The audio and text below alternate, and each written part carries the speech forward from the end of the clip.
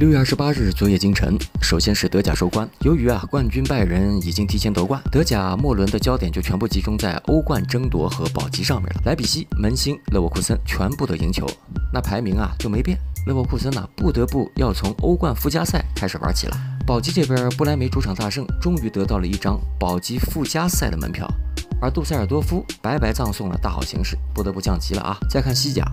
巴萨客场二比二战平塞尔塔，梅老板的七百球啊是迟迟发育不出来啊。倒是塞尔塔攻入扳平的第二球，任意球是进的是非常的鬼，这射门的线路真是技高一筹啊。塞尔塔甚至在九十四分钟的时候还有机会绝杀巴萨，要不是进攻队员突然被吴磊上身，巴萨输掉比赛的可能性极大。这场比赛极有可能成为本赛季西甲的冠军转折点。而且这场比赛啊，还是有五星体育和广东体育进行了免费的电视直播。这个响哥曾经说过啊，感兴趣的可以翻看一下昨天的推荐视频。